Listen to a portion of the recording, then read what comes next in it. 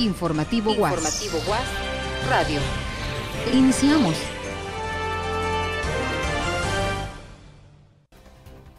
Bienvenidos a una emisión más de su noticiero institucional informativo UAS RTV. Mi nombre es Belén Molinares y a nombre de la Dirección General de Comunicación Social, de la mesa de redacción y del equipo de este su noticiero, le agradecemos que nos esté acompañando. Vamos a ir como siempre con el avance de la información. Certificar 44 unidades académicas en su proceso de tutorías. El Centro de Estudios de Idiomas de la UAS convoca al Foro de Enseñanza de Lenguas Extranjeras 2020. El Sindicato Único de Trabajadores de la Universidad Autónoma de Sinaloa hace un llamado a universitarios a cerrar filas. Este es solo el avance de la información, hacemos una pausa y regresamos con los detalles.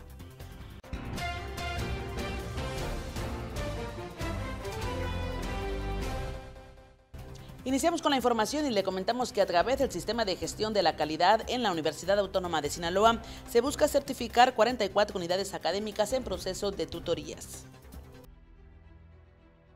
44 unidades académicas de la Universidad Autónoma de Sinaloa en febrero próximo se someterán a revisión por parte del Sistema de Gestión de la Calidad para ser evaluadas en su programa institucional de tutorías, en la idea de que en una segunda etapa logren su certificación por un organismo externo, informó Marisol Mendoza Flores. La responsable del programa institucional de tutorías de la UAS destacó que el obtener el aval de calidad con la certificación confiere mayor seguridad de que lo que se viene realizando es un servicio que realmente brinda acompañamiento a cada uno de los estudiantes y por ende da tranquilidad de que cada uno de los procesos que se están certificando se efectúan de la mejor manera. Eh, el estudiante desde que ingresa a, nuestra universidad a través de cada una de nuestras unidades académicas, ya sea del nivel medio superior o del nivel superior, se le brinda un acompañamiento, ya que desde, que, desde su ingreso se le asigna un maestro tutor que es el que lo va acompañando durante todo el transcurso eh, de su trayectoria académica en nuestra universidad. Mendoza Flores comentó que el proceso que se evaluará en las 44 unidades académicas es el de elaboración y seguimiento del plan de acción tutorial lo cual se enfoca específicamente en la elaboración de dicho plan, el cual se viene desarrollando en cada ciclo escolar.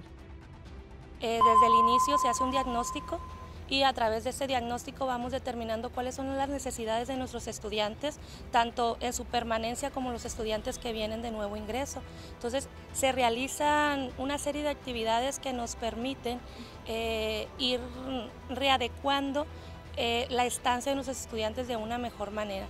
Por lo tanto, lo que nos va a permitir con este proceso de, certificación, pues es venir brindando herramientas a nuestros estudiantes a través de venir formando y capacitando a nuestros tutores para que cada una de las actividades que realizamos realmente impacten, realmente impacten en la trayectoria académica. Asimismo, manifestó que para el 2020 la mayor expectativa que tiene la UAS en su plan de tutorías es ir consolidando dicho programa, en donde cada departamento que se encuentra en las unidades académicas se vaya consolidando y que el proceso por sí solo vaya dando la garantía de que cada acción que se realiza es en beneficio de cada uno de los estudiantes. Con imágenes de Heidi Cázares, reportó para Informativo UAS Concepción Quintana. En otra información le comentamos que el Sindicato Único de Trabajadores de la Universidad Autónoma de Sinaloa hace un llamado a cerrar filas por la máxima casa de estudios. El Sindicato Único de Trabajadores de la Universidad Autónoma de Sinaloa ratificó su compromiso por buscar beneficios para la clase trabajadora de esta casa de estudios y reiteró que de manera coordinada con la administración que encabeza el doctor Juan Eulogio Guerra Liera, rector de la UAS, se defenderá la jubilación dinámica.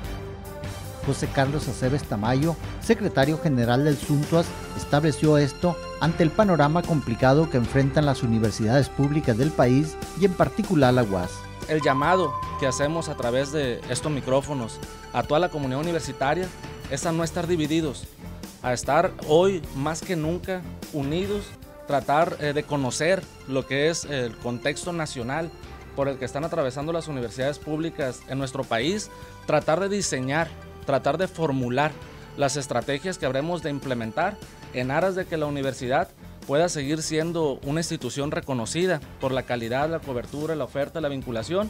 En conferencia de prensa en la que estuvo acompañado por Maristela Pérez Carrillo, líder de la sección administrativa del SUNTAS, Aceves Tamayo manifestó que los retos de esta y otras universidades no terminan con la entrega de recursos ordinarios, toda vez que hay condicionantes que están imponiendo las autoridades de las Secretarías de Educación Pública y Hacienda Pública que tienen que ver con la revisión de la normatividad y los contratos colectivos de trabajo. No podemos permitir que a, base de esta presión o esta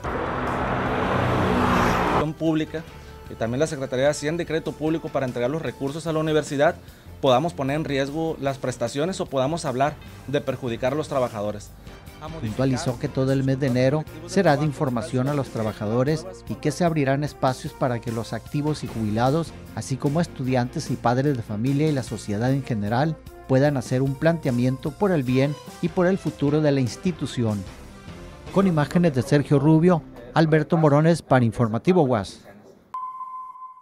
Continuamos el informativo UAS RTV. La Universidad Autónoma de Sinaloa se fortalece al contar con profesores que se preparan en el extranjero, esto a través del programa de movilidad docente. La Universidad Autónoma de Sinaloa fortalece la calidad educativa al contar con profesores que realizan estancias académicas en el extranjero para continuar preparándose. Tal es el caso de Rocío Núñez Aguilar, profesora de la Facultad de Contaduría y Administración quien realizó una estancia doctoral en la Facultad de Ciencias Económicas y Empresariales en Santiago de Compostela, en Galicia, España. La doctoranda compartió que el objetivo de viajar al viejo continente para realizar una estancia de tres meses en el área de fiscalización fue con la idea de conocer la estructura tributaria, su sistema de financiamiento, así como estrechar lazos. Tuve una cotutora de nombre María, Cadaval, experta en en federalismo fiscal, que es el tema de tesis que estoy este, llevando a cabo. Eh, mi tema es eficiencia recaudatoria en ingresos propios de las entidades federativas mexicanas. Su objetivo, al realizar esta estancia, manifestó, fue el conocer las estructuras tributarias de México y España. Y a pesar de que son muy similares, en, este caso el financiamiento de régimen común, de esas 15 comunidades autónomas a las 32 entidades federativas mexicanas. Es muy similar, aún así el nivel de vida, la calidad de vida es muy distinta entre los dos países. Agradecida con la Casa de Estudios, Núñez Aguilar expresó sentirse más capacitada con conocimientos que puede compartir no solo con sus colegas, sino con los propios alumnos de la unidad académica a la que pertenece. Con imágenes de Aurora Díaz para Informativo Guas, América Castro. Es tiempo de hacer una breve pausa. Regresamos rápidamente a Informativo UAS. Al encabezar reunión informativa con consejeros universitarios y técnicos, el rector de la UAS, Juan Eulogio Guerraliera, manifestó su confianza en que la institución saldrá adelante en las dificultades financieras que enfrenta. En el Consejo Universitario confío en ustedes. Entregamos ni a posiciones del pasado, ni nos entregamos en el sentido de engañarnos de nuestra realidad y sabremos buscar las salidas que nos permitan mantenernos unidos, juntos y viables. Consolidación Global 2021.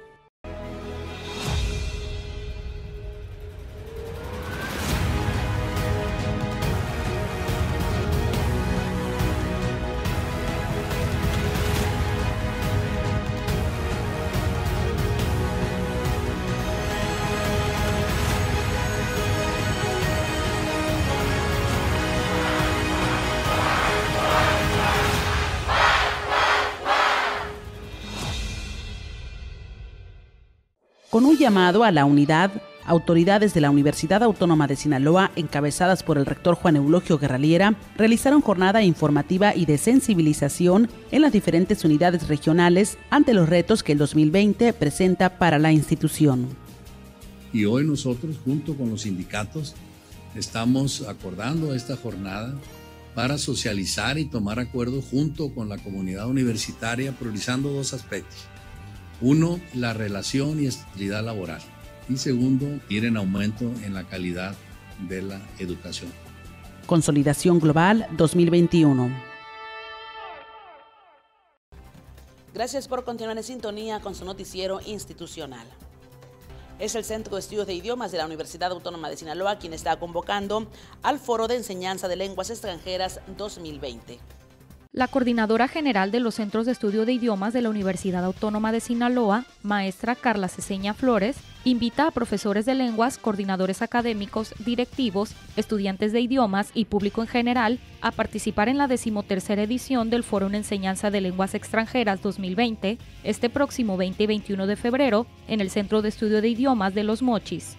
Eh, estamos muy contentos, es un evento que se llama Groundbreaking Trends in Language Teaching eh, que tiene que ver con todo lo que es este, el uso de las tecnologías y de los ecosistemas también, ecosistemas, lo que se tiene que ver con, con también el, el, el, buen, el buen balance entre lo que es la parte humana, ¿no? la, la parte humana dentro de la enseñanza y que no, to, no, no todo tiene que irse de la balanza de la cuando sabemos que las herramientas de la tecnología pues son necesarias, ¿no? Y que día con día pues tenemos más eh, somos más afortunados para, tener mejor uso de ellas, ¿no? Pero siempre tiene que haber una balanza en este, en este sentido.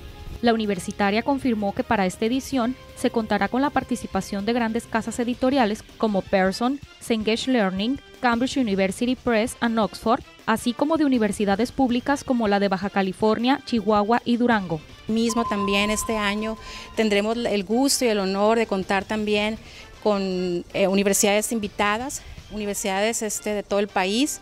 Y en especial eh, quiero mencionar este, a la Universidad eh, de Guadalajara con la que tendremos al mismo tiempo estaremos trabajando en un programa de desarrollo profesional en el marco de las actividades de FELE, también con la Universidad de Colima, también llevaremos a cabo otros unas muestras de trabajos de investigación de la enseñanza del idioma inglés en los que estamos colaborando gracias al trabajo que tenemos con ellos, eh, resultados de, de la red en la que estamos todos. Asimismo, participarán con charlas, ponencias y talleres expertos en la enseñanza de los idiomas como los que a continuación menciona. Ya confirmados tenemos a Mario Herrera, tenemos a Yair Félix, sí, tenemos también, vamos a tener la, la, fortuna también de trabajar con David March, que él es el padre de la metodología de CLIL, eh, entre otras... Eh, otros compañeros de otras universidades también. Los interesados pueden separar su lugar a través de una página de registro en donde deberán llenar un pequeño formulario con sus datos personales y definir qué día del foro asistirán. Con imágenes de Yaritza Cepeda, reporta para Informativo UAS, Cindy Sabina. Tenemos más información y es el titular de la Defensoría de los Derechos Universitarios de la Universidad Autónoma de Sinaloa, Garringo Gámez Fierro, quien señala que es importante que el docente explique a los estudiantes la forma de evaluarlos. Ante el arranque del semestre 2 del ciclo escolar 2019-2020, el titular de la Defensoría de los Derechos Universitarios de la Universidad Autónoma de Sinaloa, Garringo Gámez Fierro, puntualizó la importancia de que el docente haga del conocimiento de sus estudiantes el programa educativo, la metodología de evaluación y los objetivos a alcanzar en la materia.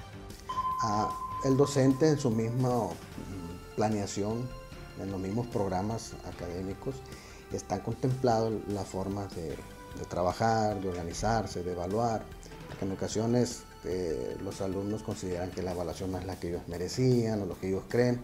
Pero entonces todo está enmarcado dentro de la planeación que el docente elabora al iniciar el ciclo escolar y cada semestre.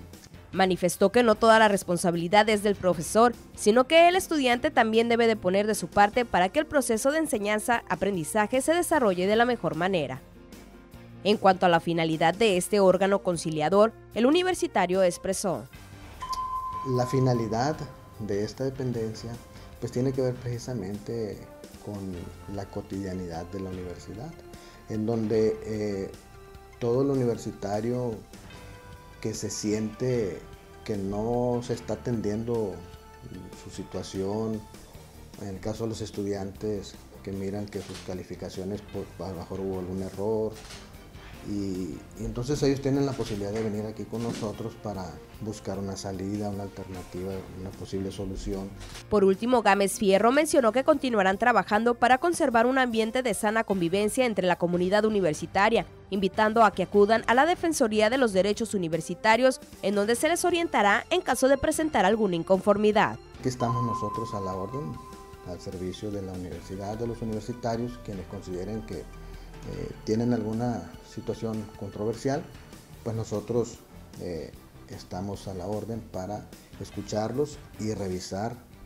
Con imágenes de Yaritza Cepeda para Informativo UAS, Marta Ortega.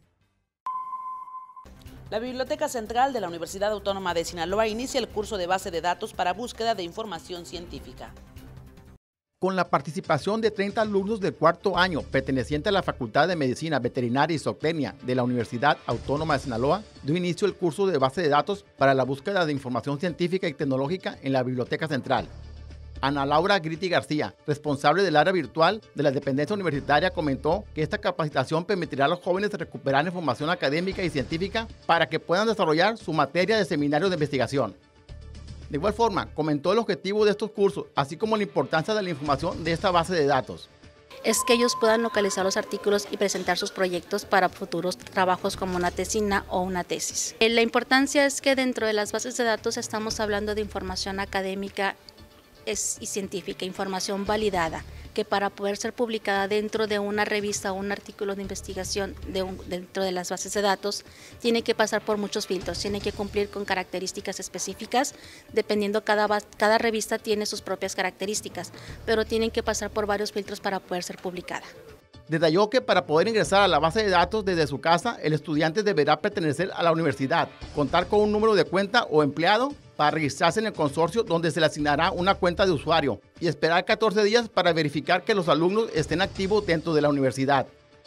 Finalmente, Gritti García anunció que posteriormente se tienen programadas a las unidades académicas de biología y medicina para que asistan a estas capacitaciones, aclarando que en caso de que haya algún alumno que no pertenezca a estas facultades y desea asistir a la capacitación, lo puede hacer solicitándolo en la biblioteca. Con imágenes de Aurora Díaz para Informativo UAS, Miguel Rodríguez. Así llegamos al final de esta emisión de su noticiero institucional e informativo UAS RTV. Mi nombre es Belén Molinares y a nombre de la Dirección General de Comunicación Social, de la mesa de redacción y del equipo de este su noticiero, le agradecemos que haya estado con nosotros. Le recordamos seguir toda la actividad de la máxima casa de estudios a través de nuestras redes sociales en Twitter, Instagram y Facebook. Nosotros le esperamos en la próxima emisión. La Dirección General de Comunicación Social de la Universidad Autónoma de Sinaloa presentó Informativo Guas Radio. Hasta la próxima.